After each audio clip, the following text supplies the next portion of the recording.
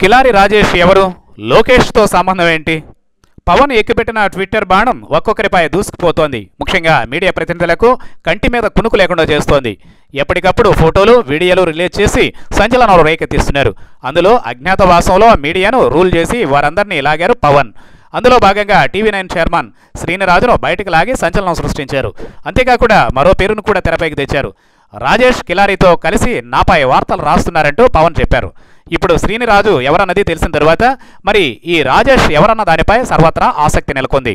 అయితే మొదట టీడీపీతో చెడిన తర్వాత మొదటి టార్గెట్గా లోకేష్ను చేశారు పవన్. లోకేష్ అక్రమాలకు అవినీతికి బాగా అలవాటు పడిపోయాడంటూ కామెంట్ చేశాడు. లోకేష్ కిలారి రాజేష్తో కలిసి తనపై అసత్యాలు ప్రచారం చేశారంటూ ట్వీట్ చేశారు.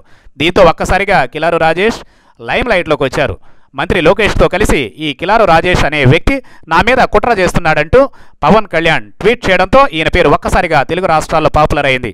ఈయన లోకేష్కే కాదు జూనియర్ ఎన్టీఆర్కు అత్యంత సన్నిహితుడు. ఒక రకంగా చెప్పాలంటే జూనియర్ ఎన్టీఆర్కు అన్నీ తానే అన్నంత సన్నిహితుడు. నిన్న మొన్నటిదాకా స్టూడియో ఎన్ వ్యవహారాలను కూడా చూస్తున్న వ్యక్తి. మీడియాలో టీడీపీ వ్యవహారాలను డీల్ చేసేది తానే అని వినికిడి. తెలంగాణలోనూ పెద్ద పెద్ద నేతలతో సన్నిహిత సంబంధాలు ఉన్నాయి. లోకేష్కు ఏ కష్టం వచ్చినా క్షణాల్లో వాలిపోతాడని చెబుతూ ఉంటారు.